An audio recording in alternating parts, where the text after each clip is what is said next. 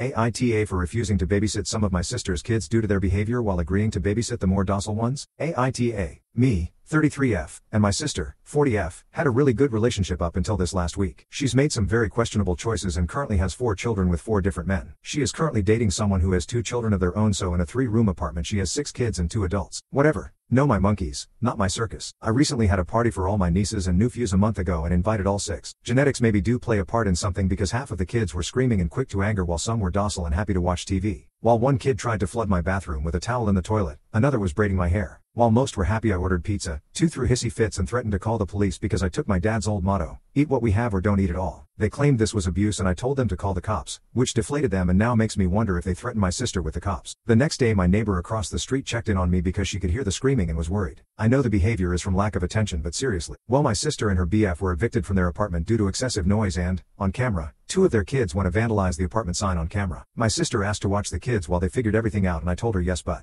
Not kid A and not kid B and not kid C. It'd take three-sixths children. She threw a fit. She said all or nothing. I said nothing then. Not my kids. It'd have to drive them and feed them, which I'm happy to do, but not to damage to my property. Even my neighbors were saying something. She is now saying I'm racist because I won't. Her words, take care of the mixed kids. My husband is black and my best friend is Asian. I'm not racist but I refuse to host those three kids again, one of who is black while the other two are lighter. But seriously, they are getting evicted for their behavior and I rent my house and don't want any issue. Their ages range and it's just random the three in trouble are 14 male, 7 male, and 11F. The ones that'd be willing to house is 3F, 6 male, and 10F. And the boyfriend's kids are the 11F and 6 male. His baby mother isn't in the picture. The whole thing is just so much drama and by how my sister screamed at me over the phone I want to call CPS because her words were slurred. AITA? Edit. Okay I can now see how it's looking on the outside. This isn't about a race thing but it's being framed this way. No one else in the family is willing to take the eight of them so my sister told me to just take the three behaved ones for a few weeks while they figure out the new living place and moving. Which I only agreed to do if she recanted that I was racist, which she did.